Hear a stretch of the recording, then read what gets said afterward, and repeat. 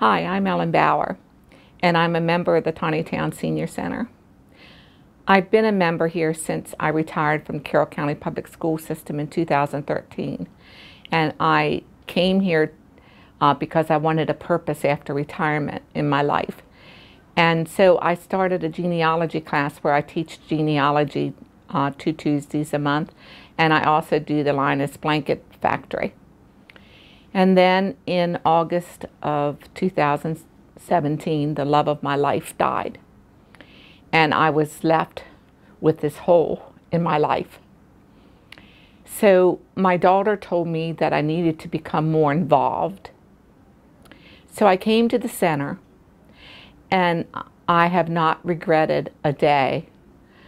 I come here every day knowing that I'm going to be accepted uh, and I can become as involved as I want.